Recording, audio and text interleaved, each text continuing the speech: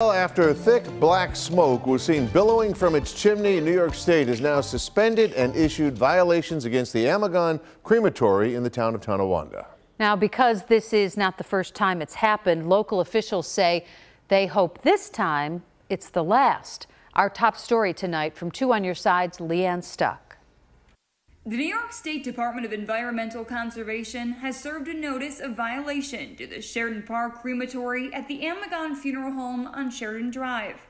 This comes after this photo showing thick black smoke billowing from the facility was taken by Town of Tonawanda Councilwoman Shannon Patch.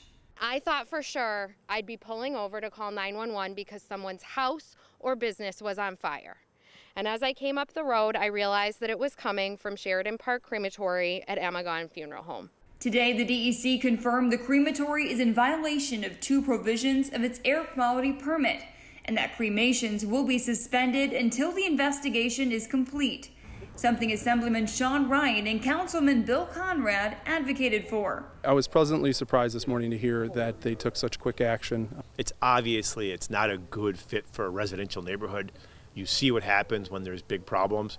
So I think it should be a wake up call to the company to say, all right, we're going to move out of this area and go to someplace that's more appropriate, less densely packed than this uh, particular neighborhood in Tonawanda.